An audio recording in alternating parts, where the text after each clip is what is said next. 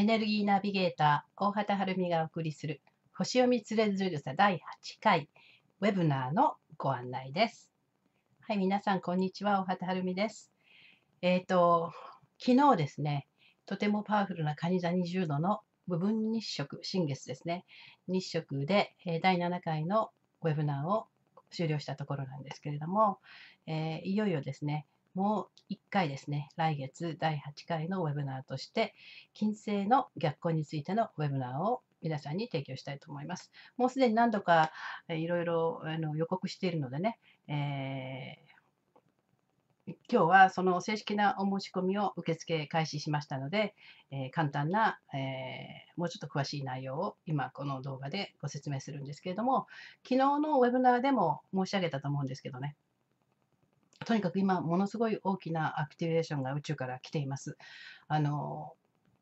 本当に1万年で3回しかないようなエネルギーが今、大きな空からの、えー、エネルギーが来てるんですね。だから本当に地球そのものが大きく波動を上げていこうとしている時だっていうのは、いろんなスピリチュアルリーダーの方が言ってると思うんですけど、実際に、えー、アストロロジーはですね、見える形でどうしてそういうことが起こるかということをちゃんと説明できるんですね。で、昨日のヤギ座の、えー、土星イングレスは、本当にあのそのすごいエネルギーが来てることを具体的にどうやって使っていくかというのを第1回目のあの詳しいね解説をしてるんですけどまだまだたくさんの、えー、お伝えしたいことがあります。この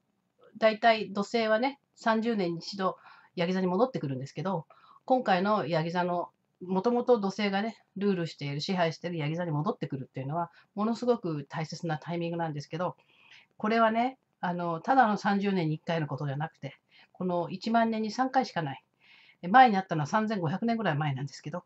そこから今回、ね、えー、すごい大きな、えー、宇宙のサイクルが巡ってきてるこのタイミングでの土星回帰になるので、これが本当にこれをしっかり使っていくことでね、この大きな1万年のぶりのエネルギーの最終仕上げになってきますよのというのを昨日の動画で説明しています。でその時に、えーと、ちょっと解説してるんですけど、もうちょっと具体的にそれを、えー、活用していくために、あともう一回ね、11月の8日が新月になるんですけど、この時に、えー、その土星のサイクルの使い方と、それから昨日のウェブナーでご説明した土星と冥王星の合について、それを自分にとってどういう課題があるのかということを読み込む方法を加えて詳しくですね、今度は解説してですね、えー、2019年から20年にものすごい月食日食が、濃度軸も蟹座とヤギ座に移ってくるので、そのお話をすることご説明しています。だから、後でここもちょっとお話しますけど、えー、本当にそういうすごいタイミングの中でね、もう一つ今年はですね、あの、今年のこの星ナビデータを皆さん提供してますけど、えー、もう一つ今年は全ての逆行する星がですね、月と太陽以外は全部逆行するんですけど、地球から見ると逆行するように見えるだけなんですけどね、あの、金星も逆行してきます。で、金星は、あの、非常にプライベート天体なので、あの動きが速いんですけれども、一番逆行する確率が少ないものなんですね。ですから逆行するときはとてもインパクトがあります。皆さんの出生図、ネイタルチャートで金星が逆行している方は、全人口の7%ぐらいしかいないんですけど、この方はですね、他の方とは違ったエネルギーの金星を持っているので、やっぱりそのエネルギーのことをよく知らないと生きにくくなります。今日は、今回この、えー、今年はですね、えー、火星も2年に1回逆行するんですけど、今年は逆行する天体が全部逆行するメデラ年なんですね。で、やっぱりこの金星が逆行するタイミングというのもとてもすごいタイミングなんですけど、とても短いんです。で、今年やっぱりね、この逆金星の逆行の仕組み、ちょっと火星とか、えー、地球よりもですね、えー、太陽に遠いところ、地球の外側を回っている星とですね、地球と太陽の間にある星、金星と水星はですね、ちょっと逆光の仕組みが違いますので、えー、そこをちょっと解説してですね、そして金星の逆行してるというのはどういう意味があるのかと、どういうエネルギーなのかということを詳しく解説していきます。えー、一人一人のネイタルチャートで金星がどのハウスで逆行しているかということまでは今回はお話しできないかもしれないんですけれども、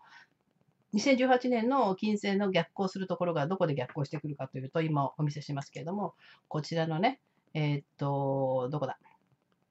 えー、サソリ座の10度50分ですよね。ここ、ここで逆行を開始するんですね。で、えー、ここにあるところがどういう影響になってくるかというようなお話は、何ハウスであるとなるかというようなお話は、今回はできるかと思います。で、詳しくですね、えー、金星の読み方とかそういうのはですね、えー、コンシャンセスアストロジーの初級コースになってくると読んでいきますが、金星をしっかりとね、読めるということは、やっぱり皆さんと自分の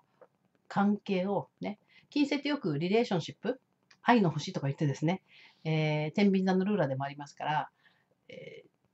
ー、なんかその恋愛とかね、パートナーシップを司っているというふうに、えー、いうことは皆さん分かってると思うんですけど、もう一つ金星はね、大志座の、あのルーラーでもあるんですね。で、この大志座のエネルギーってどういうことか。これはね、自分の価値観、そして自分をしっかり認めていくという自分との関係づくりですよね。ここをしっかり見ていくということがすごい大事なんです。で、そういった金星の、基本的な意味っていうことをですね、よくあの知らないと、えー、やっぱり自分の金星をうまく使いこなしていけませんから、で金星は、ニハウスは特にあの自分のリソースを使ったお金とも関係してきますから、やっぱりですね、その金星の基礎知識をですね、今回、あの逆行もしますしね、えー、お伝えしていくことはとても大切だと思っているので、えー、この第100回のウェブナーをすることにしています。えー、金星の逆行をするとね、えー、キャンセルはですね、こういう逆行するポイントっていうのがずっと変わってきてですね、で、その、非常にこの金星の、なんて言うんだろう、あの、軌道がね、割と完璧な円に近いんですね。一番太陽系の中で近いもんですから、こうやって綺麗なですね、ごぼう星を花びらのような形を作っていくんですね。だから、そんなようなことも今から、えー、楽しみにしてください。詳しく解説していきます。で、えっ、ー、と、いつかというとですね、これは、えー、来月の、え8月12日、この日も新月になるんですけど、え確かここも食だったと思いますよ。部分日食かなんかだと思うんですけど、えー、今年はかなり食が激しいですからね、えー、この時にですね、いつものように、えー、日本時間は10時、12あの午前10時からですね、2時間、2時間ちょっとかかるかもしれません。えー、解説をしていきたいと思います。え、もう一つ先ほど言ったようにですね、えーと、9月の10日にはですね、えー、 Consciousness Astrology の初級コースのご案内の無料ウェブナーをします。ここはですね、多分、えっ、ー、と、 Conscious Astrology とはどういうものかということ、それから、まあ、入門コースを受けてくださった方、もう少し参加していただくボランティアを募集しようと思ってるんですけど、やっぱり入門コースで12 IT サインタイプを学んでからね、やっぱり皆さん自分の生活をしていくときで、えー、いろんな変化があったと思うんですけど、そんなようなこともあの参考にしながら、初級コースでどのようなことを学んでいくか、そして今の星の配置、いつもウェブナーでいろいろご説明してますけれども、えー、まだ一度も参加したかしてなかった方も対象にして、えー、ぜひですね、星読みつれずれ草のコミュニティに入っていただきたいなという、えー、無料のウェブナーになります。えー、これは公募スタートを9月10日にしますけれども、ここはですね、参加するしない、その当日でああの参加できなくてもですね、必ず登録をしてください。この無料ウェブナーの登録をした方だけがですね、特別な割引価格で、えー、初級コースを受けることができるようになっています。また、えー、そうですね、8月になってからですね、最終的なご案内を皆さんにかけようと思っています。そして新しい9回目の、今年は8回で、あの、第8回のウェブナーで終わりにしようと思ったんですけど、やはり昨日のウェブナーをしてみてですね、土星のサイクルを昨日は簡単にご説明してるんですけど、それをお一人お一人の、えー、ネイタルチャートで土星のサイクル、特に土星回帰ですね、土星回帰についてたくさんのご要望があるので、そこまでに至る4つのサイクルみたいなことをですね、もうちょっと具体的に詳しく読んでいく方法を皆さんにご説明することと、昨日のウェブナーで第7回のウェブナーですね、えー、ヤギ座イングレス、土星回避、これ本当にあのパワフルな、えー、地球の土星回帰になるんですけど、この2020年の1月13日に土星と冥王星が合になってくるってことは、また新しい30何年のサイクルが始まるんです。で、えー、7回目のウェブナーで皆さんにご説明してますけど、えー、1982年に、えー、土星と冥王星は1回重なっています。そこから今度の2020年の5までの間のサイクルをですね、この土星のサイクルの読み方をマスターが分かるとですね、今度は自分にとってどういう課題がこれからのこの新しい土星と冥王星というすごいパワフルな、えー、会合のね、サイクルの課題なのかということを読んでいけるようになります。これはアスペクトを読んでいくときとても大事なあの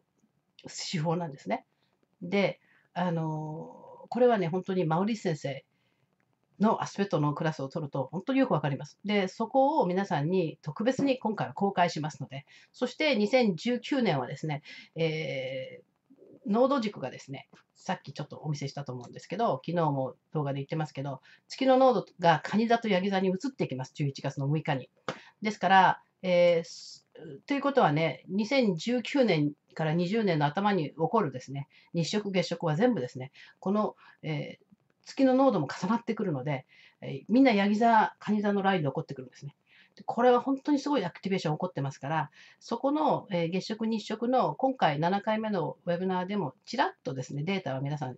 差し上げてますけど、今度は全部のチャートを皆さんに公開してですね、そこの特に大事な日あの月食、日食がどんなタイミングかということを詳しく解説していきます。あいつものように2時間ではなかなか終わらない盛りだくさんの内容になりますけれども、やっぱり今この、えーと、本当にすごいタイミングでここ30年に一度ではなくて、本当にこの3500年ぶりに来るすごいあの土星、地球の土星回帰、この2020年が終わった時に、地球がどんな星になっているのか、本当に皆さんが一人一人そのエネルギーを活用していくとですね、皆さん自身の人生も変わってきますよ。でそういうすごいタイミングに私がこの、えー、星を見つれずくさを立ち上げるようになってしまった。うん、あのよく言ってますけどね、私が突然失業したのでね、えー、あの転職をしてね、まそれも何か本当に宇宙から導かれてそういうことが起こってたんだなとつくづく思っています。ですから、えー、まあ、あのまだ一度もですね、えー、ウェブナー参加してない方はですね、ぜひご参加していただけると思います。これがさそり座の11月8日の15度11分の新月図です。日本の皆さんの場合のね、とてもパワフルな、えー、グラあのグランドクロスができていますよ。ね、活動級のグランドクロスだけど、全部29度、29度で起こってますから、濃度軸とこの、あの、お牛座の、もう一回、お牛座にからですね、あの、お羊座に天皇星が戻ってきて、これもすごいタイミングなんですよね。だから、この辺のところでもう私は続々するんですけども、私のチャートと重ねてみるとですね、えー、私の12ハウス、ほとんどこの木星が私のアセンタントと重なってますね。で、これがどんな意味かというようなこと、こういうことをですね、具体的に、えー、レクチャーしていくのが、この9回目のウェブナーになってきます。だんだんだんだん回を重ねるごとにですね、えー、もっとより具体的に星を読んでいくということがどういうことなのかということをご説明してますので、ぜひ、えー、9回も参加してください。で、あの、とにかくこの金星はね、えー、なかなか金星の逆行について詳しく解説してる人いないと思いますからね、えー、いつもいつものように早割を7月の30日まで受け付けます。で、お支払い完了は6日までです。で、えっ、と、早割価格は88ドルで受け付けますが、 Consciousness Astrology の受講生の皆さんは、なんと40%引きで66ドルで受け,、ま、受けることができますから、もう皆さんには、えっ、と、いつものようにですね、メールでご案内をしていますから、メールのリンクからですね、直接お申し込みください。まだ Consciousness Astrology の入門コースを受けてない方、いや、いいチャンスだから受けてみようと思う方はですね、 Conscious Astrology なの入門コースはいつからでも皆さん受けることができます。もう、あの、オンタイムではできないと思うんですけど、えー、もうすでに10何回か授業してますので、13回、14回ぐらいですかね。あと2回で終わるんですけど、えー、あとはあの動画での視聴になっていきますけれども、えー、いつでも受けることができますから、そちらを申し込んでいただけますと、こちらの8回目のウェブナーも優待価格の特典で、えー、受講できます。7月30日までであれば。えー、そういう方はですね、おもしあのぜひですね、えー、私の方に Consciousness Astrology の入門コースお申し込みの時にですね、あの一筆を添えてください。はい。じゃあ、これでですね、えー、具体的な、えー、ウェブナーの、えー、内容については終わります。で、これからはですね、ウェブナーの申し込みの仕方、いつものような申し込みの仕方なんですけど、まだ今回初めてという方はですね、このまま引き続き、えー、聞いていてください。はい、それでは皆さんの一日も早いお申し込みをお待ちしております。お申し込みリンクは、この動画の下の、えー、ところにですね、ちゃんとリンクが貼ってあります。えあとは、え、このあの情報をですね、えー私の Google ドライブからあの直接、えーと、引き出すこともできますので、その辺のリンク全部下に貼ってますから、参考になさってください。それでは、たくさんの皆さんのご参加をお待ちしております。はい。えーと、続きまして、ウェブナーの受講手順ですね。えーと、初めての方だけなんですけど、あウェブナーのお申し込みは、えーと、この下にあるリンクをクリックしてください。そして必要事項を記入していただきます。えっと、その時にですね、ここにあのリンクがありますから、これでもいいし、この動画の下にも貼ってあります。そしてですね、このお申し込みをしていただきますと、あの、あのお申し込みが完了しましたというメールが届きます。そのメールの中にですね、えっ、ー、と、お支払いをしていただけるリンクが入っています。えっ、ー、と、7月30日までにお申し込みをしていただいた方は、えー特別割引価格の早割価格の88ドルでお申し込みができるリンクがついています。で、えっ、と、あのそのリンクを貼るとですね、あの、ペイパルアカウントの方からですね、あの、えっ、と、あのクレジットカードでお支払いください。えっ、と、ペイパルのあの口座がなくても、えー、ここにですね、詳しくペイパルのあの使い方が書いてありますから、えー、参考になさってみてください。え、リンクを払うとですね、あのクリックするとですね、こういう方が出てくるんですけども、ペーパルのアカウントをお持ちの方はログインしてください。もし、ペーパルのアカウントない方はですね、こちらの Pay with Debit and Credit Card をチェックしてください。そうするとですね、えっ、と、こういう形になってですね、えー、ページが日本、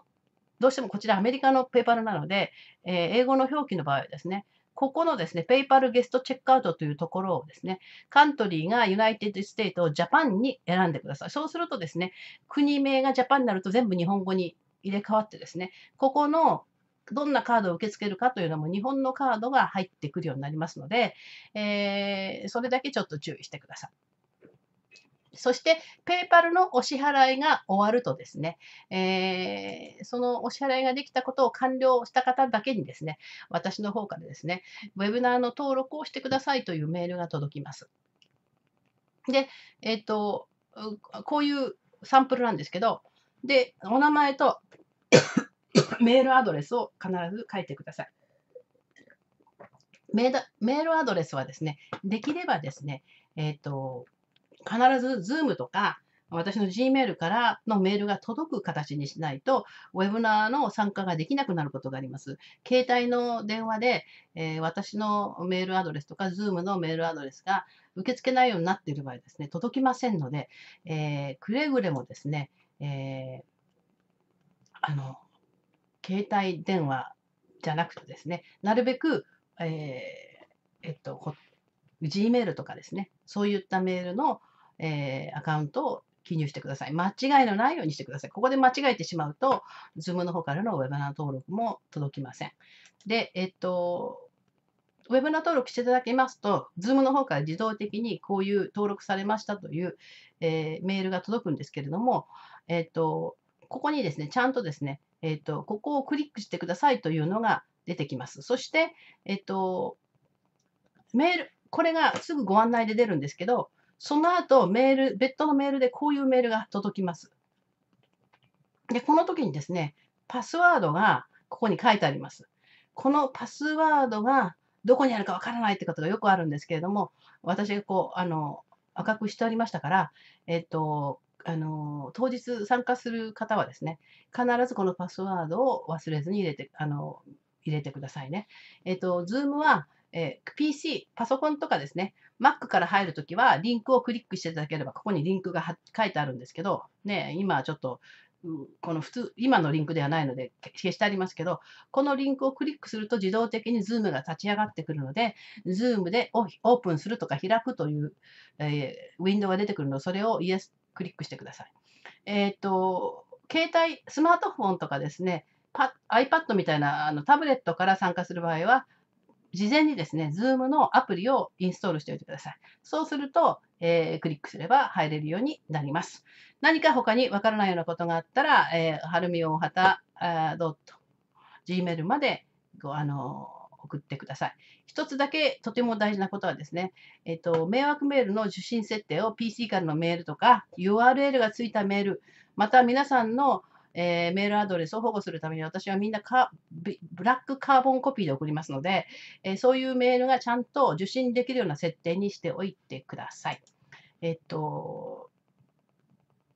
あのね、それからよくですね、よくあるご質問がですね、えっ、と、いろんな申し込み用紙とかのね、リンクをクリックしても、えー、どこにも行きませんっていう時あるんですね。それは、あの、皆さんの、あの、受け取ってるメールアドレスのプロバイダーの設定の方でそうなっているので、そういう場合ですね、その URL をコピーしてですね、ペーストして直接使ってください。えー、リンクが、えー、クリックしても動きませんってよくメールが来るんですけど、これは私の方ではどうにもできないので、えー、それをあのクリックして直接お使いください。えっ、と、必ず Zoom のウェブナー登録をしていただけないと、当日の Zoom のに参加することはできません。えっ、と、Zoom のウェブナーはですね、当日参加できなくても動画で配信を必ずしますので、えーと、当日その時に参加できない方でもいつでも参加できますから、当日が無理な方も、えー、あの困ら困り困あの必ず参加することができますから参加してみてください。はい。えーと、もしウェブナーにうまく入れなかった場合ですね、一度画面を閉じてもう一回直してみてください。えっ、ー、と、まあそんなぐらいでいいですかね。で、ペイパルのサンプル今送りましたね。はい。ということで、最後にここに、えー、あの、もう一回、あの、クリックするバージョンが出てますけれども、この、えー、詳しいウェブナー解説の、えー、資料が欲しい方はですね、この動画の下にですね、えー、ダウンロードできるクリック、あの、あの、リンクを貼ってありますから、そちらからお申し込みになってください。こちらをですね、えっ、ー、と、こう、貼りますとですね、えっと、